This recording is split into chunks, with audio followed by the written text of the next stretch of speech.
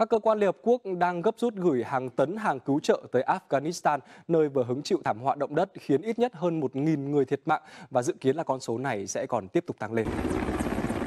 Các lều trại và đồ dùng thiết yếu, trong đó thì có 600 lều và 1.200 đèn năng lượng mặt trời đã được chuyển đến Afghanistan để hỗ trợ các nạn nhân sống sót sau trận động đất. Cao ủy Liên Hợp Quốc về người tị nạn cũng triển khai đội ngũ nhân viên sắp xếp nơi trú ẩn cho những người vô gia cư và thiết lập các trung tâm cung cấp hàng cứu trợ. Trong khi đó, thì Quỹ Nhi đồng Liên Hợp Quốc UNICEF tại Afghanistan nhấn mạnh là cần quan tâm đặc biệt tới vấn đề tâm lý của trẻ em và thanh thiếu niên bị ảnh hưởng bởi động đất.